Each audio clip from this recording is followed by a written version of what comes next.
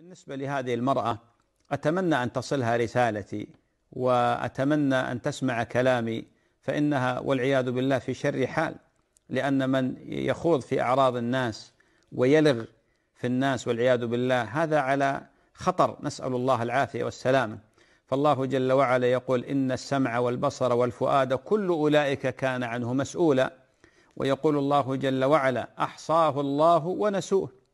ويقول جل وعلا عن اليمين وعن الشمال قعيد ما يلفظ من قول إلا لديه رقيب عتيد. ويقول جل وعلا والذين يؤذون المؤمنين والمؤمنات بغير ما اكتسبوا فقد احتملوا بهتانا وإثما مبينا. ويقول جل وعلا ولا يغتب بعضكم بعضا أيحب أحدكم أن يأكل لحم أخيه ميتا فكرهتموه واتقوا الله. النبي عليه الصلاة والسلام يقول وإن الرجل يعني والمرأة ليتكلم بالكلمة من سخط الله. لا يلقي لها بالا يهوي بها في النار سبعين خريفا يهوي بها في النار سبعين خريف. يعني سبعين سنة وهو يهوي في نار جهنم والعياذ بالله.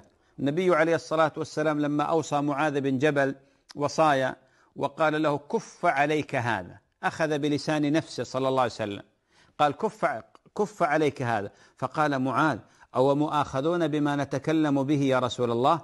قال ثكلتك أمك يا معاذ وهل يكب الناس في النار على وجوههم أو قال على مناخرهم شك الراوي إلا حصائد ألسنتهم؟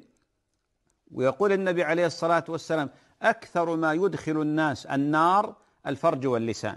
ويقول من يضمن لي ما بين لحييه وما بين فخذيه أضمن له الجنة. والنبي عليه الصلاة والسلام ذكر له امرأة صوامة قوامة يعني تقوم الليل وتصوم النهار. لكن ما تحفظ لسانها عن جيرانها عن جاراتها. فقال هي في النار. قال هي في النار. ما نفعتها صلاتها وصيامها وقيامها. فقال يا رسول الله فلانة قليلة صوم وصلاة يعني تصلي الفرائض تصوم رمضان لكنها تحفظ لسانها عن عن جاراتها. قال هي في الجنة. قال هي في الجنة. ولذلك الكلام في الناس خطير. نعوذ بالله. نسأل الله العافية والسلامة. فاكهة المجالس.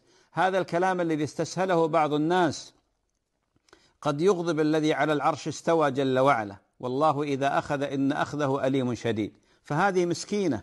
عمة الأولاد هذه مسكينة. عليه أن تتقي الله وأن تخاف الله وأن تتوب إلى الله. ولا يغرنها إذا كانت تصلي أو أو تقوم أو تقرأ القرآن. لا تنخدع بهذا. فإن آه، الذي فعلا حريص على طاعة الله هو الذي يحفظ لسانه عن أعراض الناس وعن الكلام في الناس. أما قضية يصلي يصوم يقرأ القرآن ويقرض آه، لسانه مقراض في أعراض الناس يتكلم في الناس يؤلب الناس بعضهم على بعض نسأل الله العافية والسلام.